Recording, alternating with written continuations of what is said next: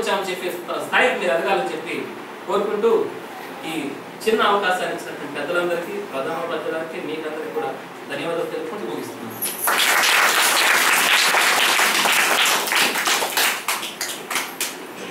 ఆ తెలుగు ఉపాధ్యాయుడు అరబ్ బాబు ఒక స్ఫూర్తిదాయకమైనటువంటి స్పీచ్తో అందరినీ ఆకట్టుకున్నాడు.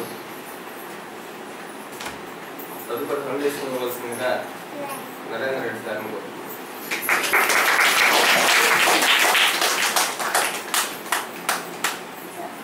ఈనాటి ఈ కార్యక్రమానికి అధ్యక్షత వహించినటువంటి మన ప్రధానోపాధ్యాయులు ఎస్ భాస్కర్ రెడ్డి గారికి మన గ్రామ సర్పంచ్ శ్రీకేత విజయవాసరెడ్డి గారికి మన పాఠశాల ఎస్ఎంసీ చైర్మన్ శ్రీకేత వేణుగోపాల్ రెడ్డి గారికి నా తోటి ఉపాధ్యాయులు అందరికీ నా నమస్కారాలు.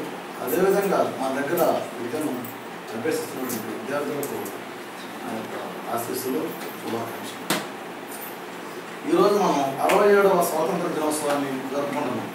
మనకు పంతొమ్మిది వందల నలభై ఏడవ సంవత్సరం ఆగస్టు పదిహేనవ తేదీన స్వాతంత్రం వచ్చింది. ప్రతి సంవత్సరం రే ప్రతి సంవత్సరం మనం ఇది జరుపుకుంటున్నాం దానికోసంగా మనం ఎట్లా ప్రవర్తించాలో కూడా మీకు తెలుసు. పిల్లలుగా మీరేం చేయాలి? ఉపాధ్యాయులుగా మీరేం చేయాలి? ఒక భారతీయ పౌరులుగా మనం గ్రామస్తులు ఏం అనేది మనం ప్రతిసారి చెప్పుకుంటున్నాం. కానీ దాన్ని ఆచరణలో పెట్టడంలోనే కొన్ని అవకతవకలు చేస్తున్నాం. పిల్లలు మీరు చేసుకుని మీరు సరిగ్గా చేయట్లేదు. అర్థమవుతుంది. ఏం చేయాలి మీరు? మంచి విద్యను అభ్యసించి భారతదేశ అభివృద్ధికి తోడ్పడాలంటే విద్య చాలా అవసరం. ఆ విద్య ఎక్కడి నుంచి వస్తుంది?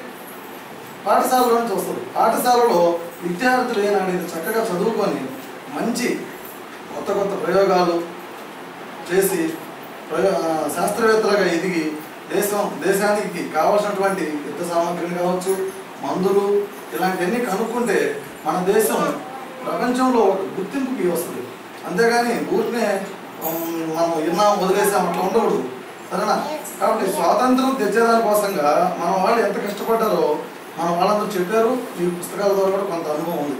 కానీ స్వాతంత్రం అనేది ఏంది? మీరు అనుకుంటా స్వాతంత్రం అంటే ఏందిరా? ఇదేమో ఒక వస్తువా? అక్కడ పోయి ఒక ప్యాకెట్ కురుకురే ప్యాకెట్ అనుకుంటారు. స్వాతంత్రం అనేది ఒక వస్తువు కాదు ఒక అనుభూతి ఒక ఫీలింగ్ అది. స్వాతంత్రం అనేది ఒక ఫీలింగ్ ఇప్పుడు ఇక్కడ పిల్లలు ఉన్నారు వాళ్ళకి స్వాతంత్రం కొంతమంది కట్టడి చేస్తున్నాం. ఏంది? వాళ్ళకి మాట్లాడుకోవాలని కోరిక. మనం కట్టడి చేస్తున్నాం. కాబట్టి వాళ్ళకి అక్కడ స్వాతంత్రం యొక్క అనుభూతి కలగాల. కాబట్టి స్వాతంత్రం అనేది వాళ్ళు ఎవరో తెచ్చిపెట్టారు? మనదే అనుకోకూడదు. చెప్పలేము. రాబోయే రోజుల్లో మనం ఏ దేశం కింద పోవాల్సి వస్తుందో అలా పోకుండా ఉండేదాని కోసంగా మన ప్రయత్నం మనం చేయాలి. చేయాలంటే మన దేశం విద్యలో అన్ని రంగాలలో విద్యారంగం కావచ్చు క్రీడారంగం కావచ్చు అన్ని రంగాల్లో ముందుండాలి. మనం ఎవరి కిందకి పోకూడదు. ఏ దేశం కిందకి మనము దేహి మాకు ఏదన్నా సహాయం చేయండి మాకు అలాంటి మందులు లేవు అలాంటి పరికరాలు లేవు అని మనం ఎవరికైనా పోకూడదు. మన దగ్గరికి వేరే దేశం వస్తున్నట్టు మనము ఉండాలి. అర్థమవుతుందా? కానీ దానికి మనం ఏం చేయాలి? కష్టపడి చదవాలి. కష్టపడి చదివి మీరు గొప్ప శాస్త్రవేత్తలుగానో ఒక ఇంజనీర్ గానో ఒక టీచర్ గానో ఒక డాక్టర్ గానో మీ యొక్క జీవితంలో ఎదగలిగితే అప్పుడు వా- మనకు మన పెద్దలు ఇచ్చినటువంటి స్వాతంత్రాన్ని మనం సార్థకం చేసుకున్న వాళ్ళు అవుతాం. అర్థమవుతుందా? కాబట్టి మీ వంతు పని మీరు చేయండి. సరేనా? మా మా చేతనైనటువంటి చేతనైనటువంటి ఎక్కువ మేము చేస్తాం. కాబట్టి పిల్లలు బుద్ధిగా చదువుకొని ఆ స్వాతంత్రం అనే అనుభూతిని మనము ఎప్పుడూ పొందుతూ ఉండాలి. స్వాతంత్రం ఒక ఉదాహరణ మనము వేరే ఊరికి వెళ్ళాము అక్కడ రెండు రోజులు ఉండాలంటే చాలా కష్టంగా ఉంటుంది రాత్రి కొనుక్కోవాలన్న మన ఇంటికి వస్తే ఎట్లా ఉంటుంది? మన ఇంట్లో మనకు కన్వీనియంట్గా ఉంటుంది. అది కింద పడుకున్నా కానీ.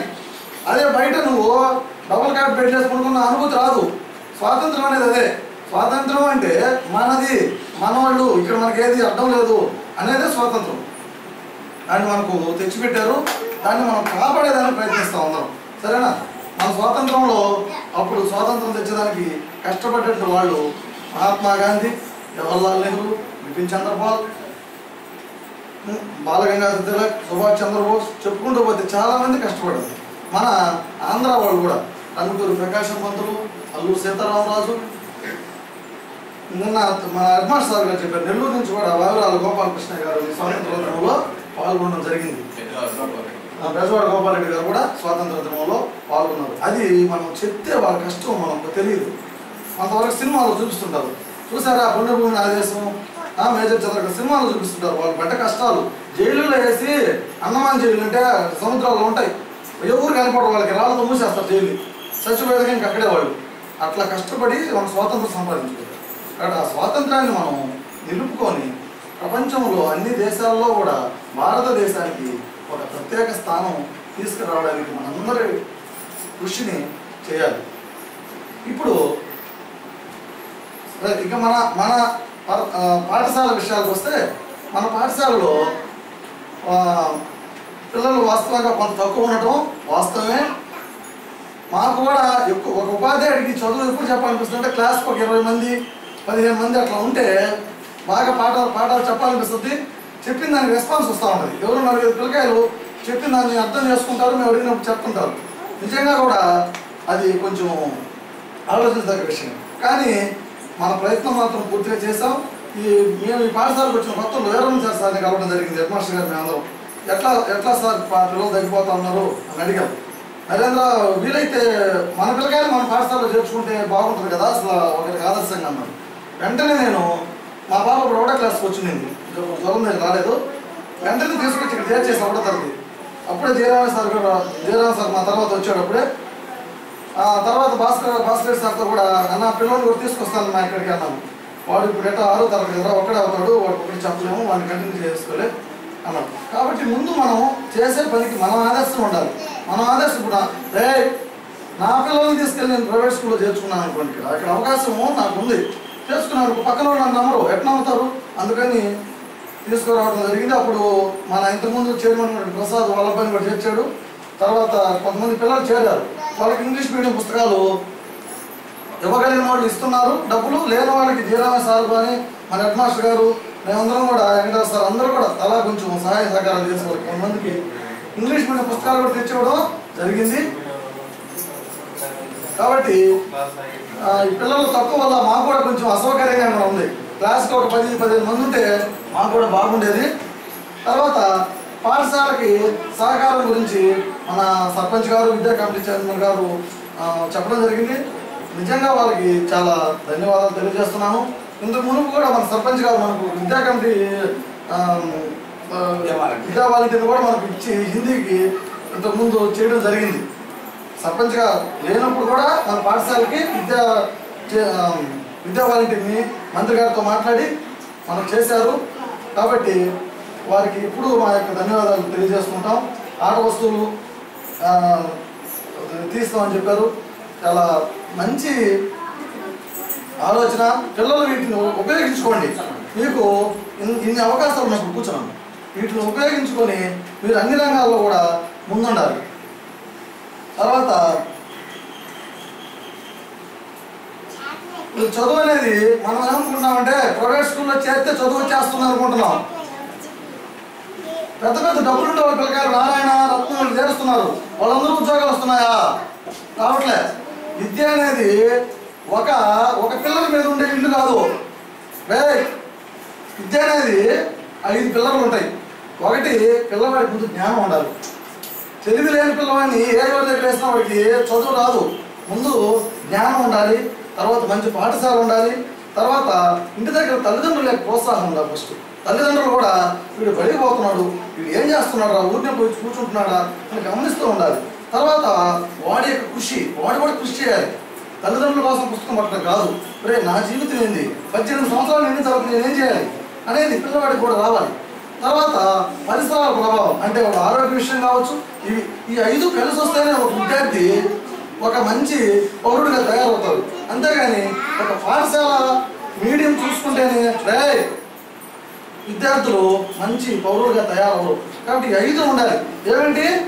తల్లిదండ్రులు పాఠశాల జ్ఞానం కృషి ఉండాలి.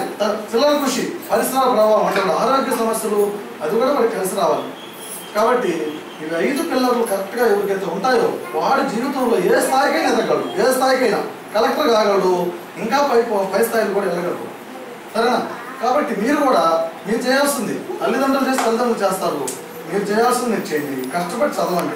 చెప్పిన పాఠాలు కష్టపడి చదవండి. మీకు కావాల్సిన టైం ఉంది కావాల్సిన ఐదు ఉన్నాను ఎక్స్ట్రా టీచర్ పెట్టడానికి కూడా సహకారం అందిస్తాం గ్రామంతో చెప్పడం జరిగింది. కాబట్టి మీకు మా మా టైం సరిపోకపోతే ఇంకొకటి పెట్టుకుందాం వాలంటీర్గా. ఇబ్బంది లేదు. కాబట్టి మీకు మీరు కష్టం చేయండి. ఫలితం దేవుడు ఇస్తారు ఖచ్చితంగా. సరేనా? కాబట్టి కష్టపడి చదవండి. తర్వాత మన సర్పంచ్ గారికి ఒక విన్నపం ఏంటంటే విద్యావాళ్ళకి వీలైతే మళ్ళీ హిందీ హిందీ చెప్పేదానికోసంగా ఒకసారి మంత్రి గారిని అడగవలసిందిగా ప్రార్థిస్తున్నాను. ఇంతటి చక్కటి అవకాశాన్ని ఇచ్చినటువంటి సభను అలంకరించిన పెద్దలకు అదేవిధంగా ఇంత ఓపిక అయినటువంటి పిల్లలకు అందరికీ కూడా నా కృతజ్ఞతలు తెలియజేస్తూ ఇంతటితో నా సమావేశం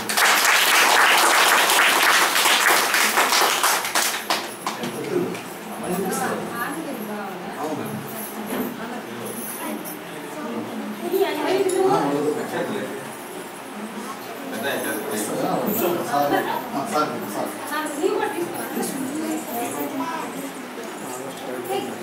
తమ్ముడు నరేంద్ర విద్యార్థి యొక్క విద్యార్థి ఏం చేయాలి విద్యార్థి యొక్క కర్తవ్యాన్ని తెలియజేస్తూ విద్యార్థి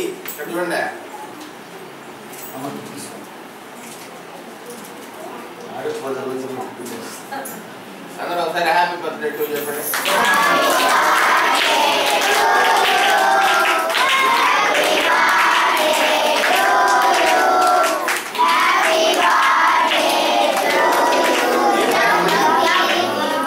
రైట్ జాగ్రత్త థ్యాంక్స్ చెప్పు వాళ్ళకి థ్యాంక్స్ అని చెప్పు